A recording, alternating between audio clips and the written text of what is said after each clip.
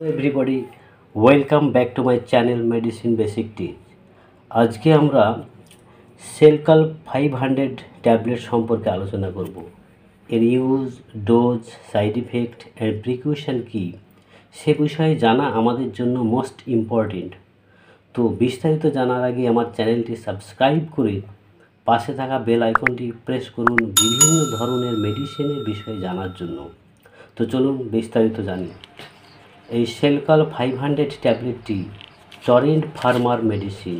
এর বর্তমান মূল্য একশো একত্রিশ টাকা প্রতি পনেরোটি ট্যাবলেটে এখানে আছে ক্যালসিয়াম ফাইভ হান্ড্রেড মিলিগ্রাম এবং vitamin D three two hundred fifty international unit আর এই দুটোই একসঙ্গে আমাদের শরীরের জন্য মোস্ট এসেনশিয়াল কারণ মানব শরীরে যদি ভিটামিন ডি থ্রি ডেফিসিয়েন্সি বা অভাব থাকে তাহলে আমরা যতই ক্যালসিয়াম বা ক্যালসিয়ামযুক্ত খাবার খাই না কেন, সেটা কোনো কাজে লাগবে না বা ক্যালসিয়ামের অভাব দূর হবে না।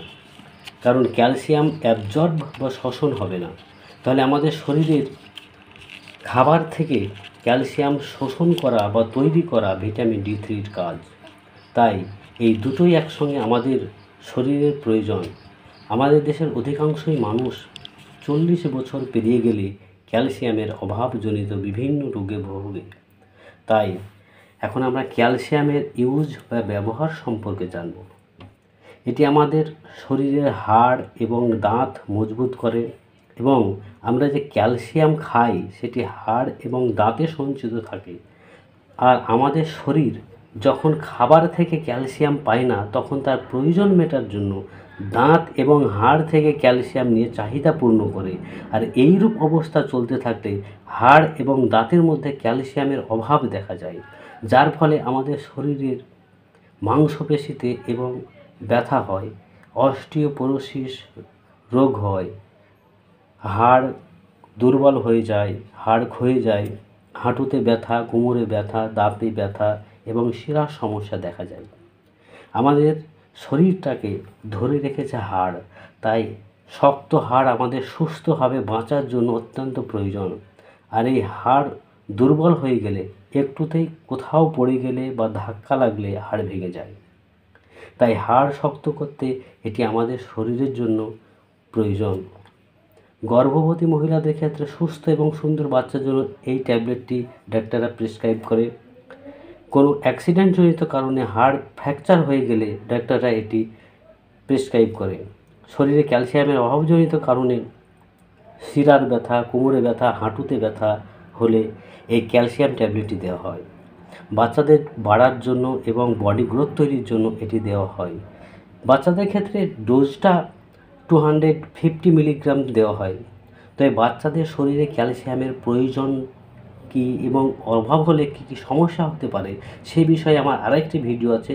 সেই ভিডিওটির লিঙ্ক আপনার ডিসক্রিপশান বক্সে পেয়ে যাবেন।